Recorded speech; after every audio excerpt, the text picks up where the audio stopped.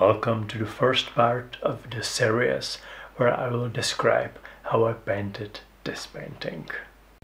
This is a portrait of Princess Drahomira and I made the painting as an illustration for the third part of the book called Evrakar, which has been published only in Czech.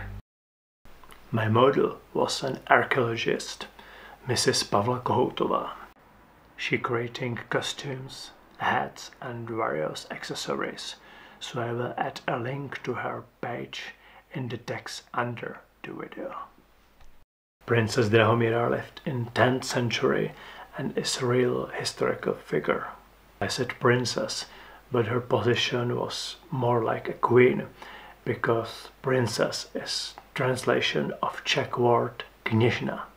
This doesn't mean daughter of king, but a designation for something like a queen at a time when there was no kingdom in the Czech lands. In the studio of Professor Beran at the Academy of Fine Arts in Prague, there was perhaps only one taboo, and it was a historical painting. Professor Beran never allowed students to paint this. He always taught us that a realistic painting must look contemporary from nowadays. The reason was simple. Professor had to defend existence of studio where the realistic painting was in center of interest.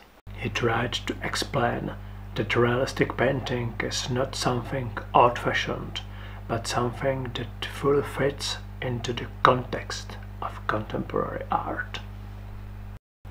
So I wanted to try this kind of historical reconstruction. But it doesn't mean that I would like to devote myself to historical painting in the long time.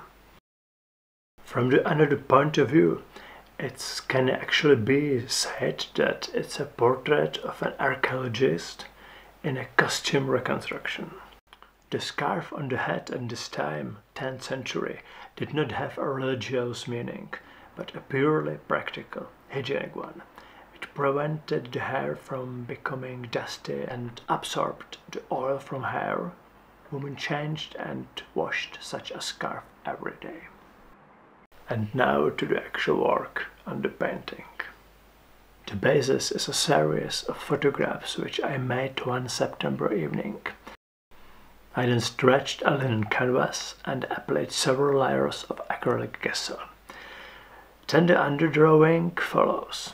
I usually use a crayon, often watercolor crayon, which are mixed with the following underpainting. It's important to say that the underdrawing is something different from the drawing as a final work.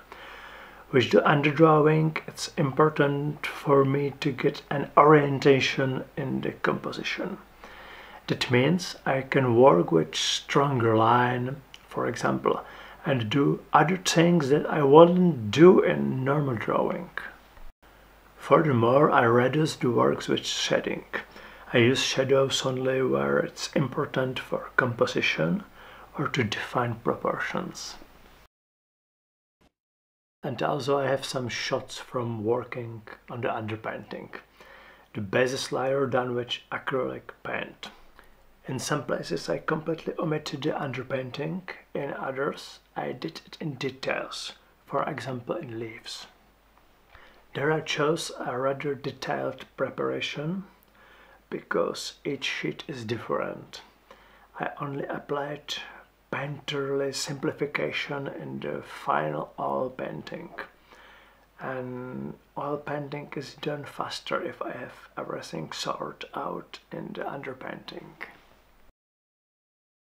Here you can see how the wall painting looks like before starting the oil painting.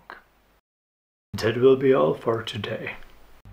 In the next video I will tell you how I started with oil painting, first at the background and surrounding.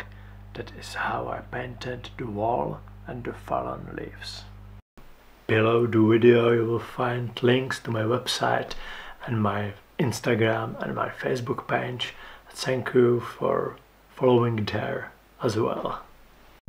I don't use Twitter very often, but if there is interest then you will follow me there. I will start posting updates there as well. I'm also at the Links to galleries where you can see my paintings in real life. Thank you for likes, subscribe and comments and have a nice day and see you in next videos.